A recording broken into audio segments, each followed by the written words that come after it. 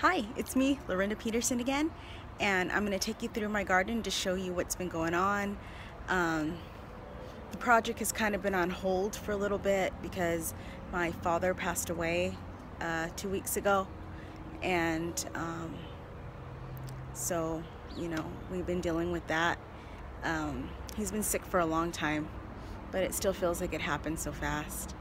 Um, so it's kind of been on hold and um, but I grieve in the garden, so um, it helps keep me busy and my mind off of things. And um, I know he's here with me, helping me do it.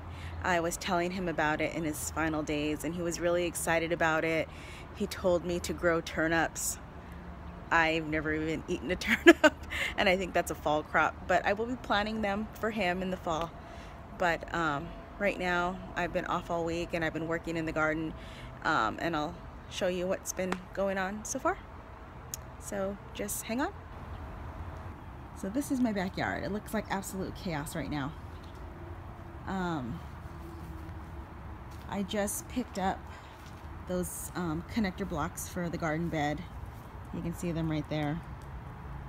And I just kind of laid them out. We got back la late last night and um, just kind of set them out. And the cardboard is going to go um, on the bottom to kind of keep the weeds from going up. And it'll um, break down in about a year or so um, and go right back into the soil.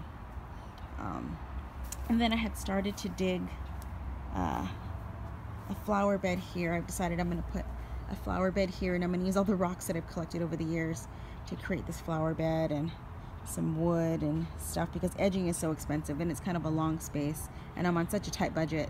So I thought I would use what I have um, I have a lot of weeds and, and to get that grass out.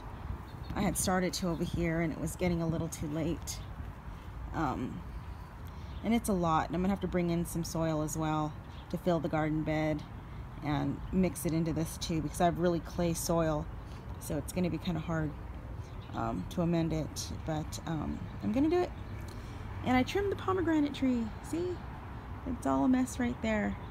Um, and I'm waiting for this to dry out a little bit so I can put it in the compost bin because I need more brown brown matter in there. All I've been throwing in there was kitchen scraps and and greenery, so there's not much dry and brown in there, so I need to mix it in. Um, these things are pretty cool. I found these at Michael's during Christmas time. They're Christmas tree collars. They go around the base of a Christmas tree. They were normally $70 and I got them for 90% off. I got them for like seven bucks. And they're pretty big. Um, and I'm gonna fill it with soil and my tomatoes are gonna go in there. I got two of them. I was only able to find two. Otherwise I would have bought more. Um, and then over there, I'm gonna put another flower bed and that's where I'm gonna put my peas. Um, I'm gonna, I bought some willow trellis that expands and I'm gonna kind of hang it from the, um, the eaves right there and to make it go down to the flower bed. I was gonna use those old bed posts, um, the footboard and the headboard for my trellis, string some twine through it. Um, but I decided against that. I think I'm gonna use that for my melons instead because I don't want that wood to go to waste. Um, and I think that that wood would be a little more hardy and and support the melons better. I, would rather use that for the melons instead of um, the, um, the willow expandable trellis because the peas aren't that heavy. So I'm going to create another flower bed along the wall right there. Only about eight feet right now. Um, I could expand it later when I have more money. And over there is just a hot mess. I don't know what's going on over there, but I'm not even worrying about that right now.